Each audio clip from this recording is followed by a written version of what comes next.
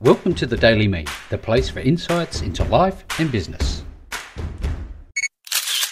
Hello, hello, hello, and welcome back to the Daily Me Show. It's Rick Nusky here. I hope you're doing really, really well now.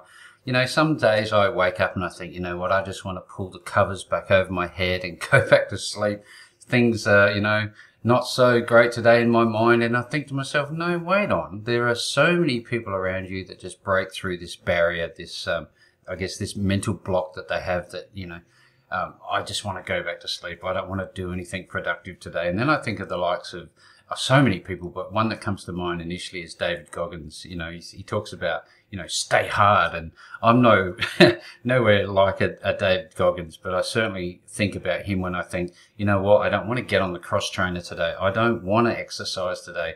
I don't want to write another chapter of my upcoming book. I don't want to. I don't want to. I don't want to. You know what? Um, that doesn't matter. You just got to push through it and do it anyway. In fact, what David Goggins talks about is when when he gets those negative, um, that negative self-talk going on in his mind, he knows he uses that as his trigger to actually get on the, uh, on the cross trainer or go for a, a 50 mile run, whatever he does, something crazy. He's just an amazing person. Such an inspiration for me. Like there are so many other people out there that are inspirational. So I don't know about you, but, um, if you struggle, um, some mornings to get into it, get motivated, I guess this is part of what this um, Daily Me episode is about is that, that motivation, that, that, I guess that mindset, that intestinal fortitude to break past that negative mindset, even though you're not consciously doing it. Sometimes the subconscious could be powerful. It's like, I'll just do it tomorrow. I'll just put it off. And you know what? I get that all the time. And so I could have produced so much more great content and been so much more productive in my business and possibly um, done things a lot differently. But what I have done is I've learned from those things and I started researching on self development, self help things. And, you know, I'm not right into that sort of stuff, but I believe there's certainly a place for it.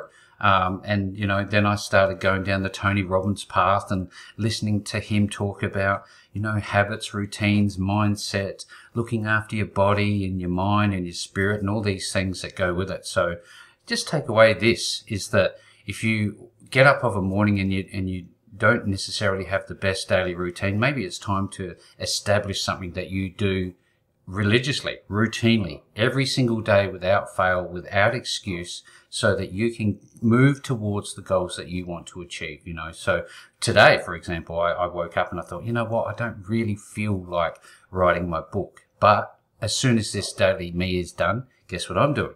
I'm opening up my next chapter and I'm starting to put uh, pen to paper, in my case, typing. I do see the power in the pen, but for the sake of ease, I'm going to be typing it. Um, but I'm going to do it. I'm going to allow myself um, 40 minutes, 30 minutes, whatever it might be. I might get 10 minutes and it might be the best, most productive 10 minutes of typing that I've done in weeks. And it may not be. It may just be a, a, pile of random thoughts and mess on the page, but it doesn't matter. It's about the routine. It's about getting into the habit of doing the things that you need to do to get you to the goals.